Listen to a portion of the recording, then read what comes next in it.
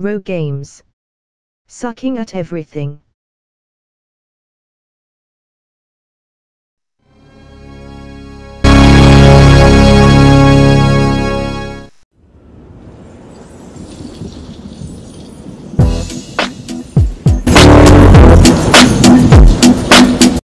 The 1988 Dacia 1310 TLX has a 1.3-litre carbureted 8-valve inline 4 engine with 54 horsepower and 96 newton meters.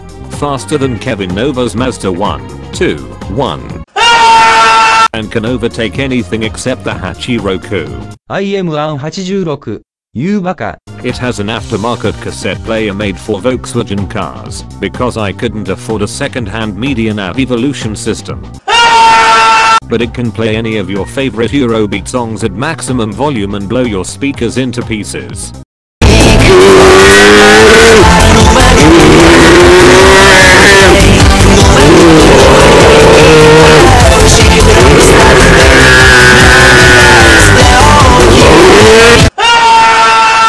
The engine on my Dacia was swapped temporarally to a 1.4 litre carburetted 8 valve 62 horsepower and 102 newton meters engine running on nitrous oxide.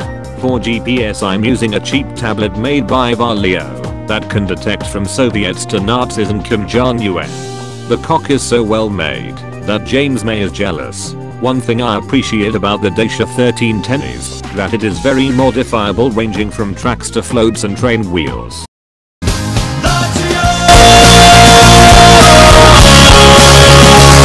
Plus engine tuning and swapping.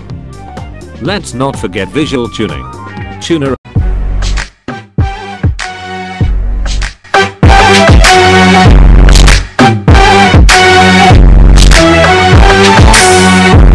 and riser. Da, prea rapid, da, prea furios Eu merg cu Dacia, iar tu pe jos Da, prea rapid, da, prea furios Rămâi prost când apăs pe nos